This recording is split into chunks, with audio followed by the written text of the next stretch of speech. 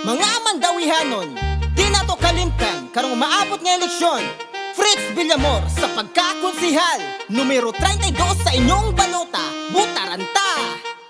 Mandawihan ang niyang serbisyuhan Priority niya ang kaayuwas lakbayan Ang katauhan, iyang tabangan para malikayan. Ang naglikop na pandemya sa kalibutan. Ang gusto niya magkahiusat ta, hiusat ta Sa pagbangon na tong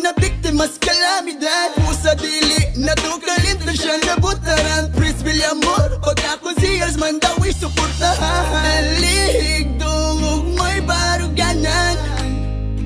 Syudad Mandawi ug ang mga katawan. Diligid niya pasagdan Fritz Villamor Pagkakonsiyal ato siyang iputo. Hatagan na tog lugar sa konsiho. Ligdong matina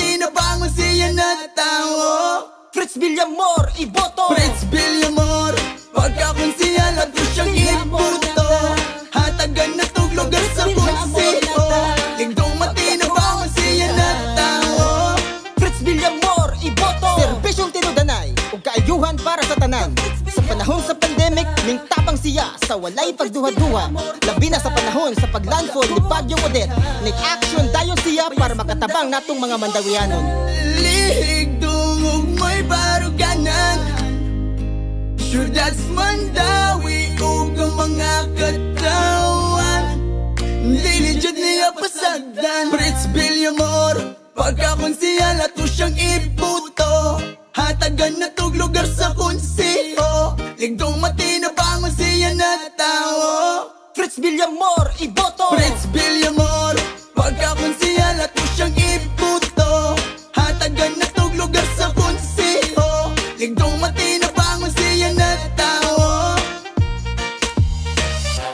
Villamor, ang iyang pangalan sa pagkakonsihal diri sa Dakbayan sa Mandawi. Mahigalaon ug matinabangon, matinud-anon, dali ra sampiton, matinahuron sa yon raduulon imong masaligan. Fritz Villamor